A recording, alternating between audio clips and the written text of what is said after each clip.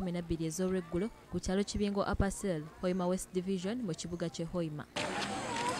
Akabenje kano kagudde kumpi n'essomero lya Philbert Nassaran Primary School oluvannyuma lw'abavuzi ba bodaboda babiri okutomeregana era omu n'afiirawo. Ate omulala n'addusibwa mu ddwaliro ng'embeera mbi ddala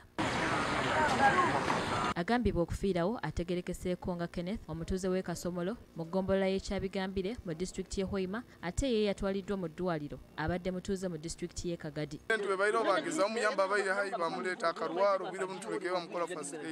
baitu eriiso erimulikwasirwo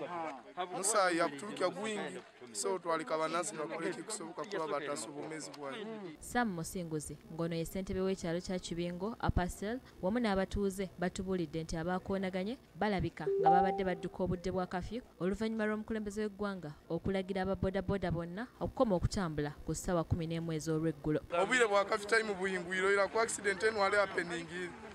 Zibaire rafule saa zibaire saa nka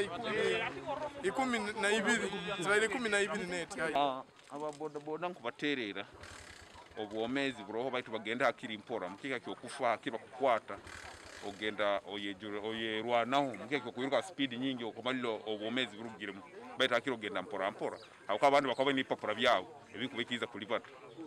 abasirikale abavunaanyizibwa ku bidduka okuva ku poliisi y'e hoima baatuuse mu kifo kino era ne batwala omulambo mu ggwanika e hoima kakati akulira ekitongole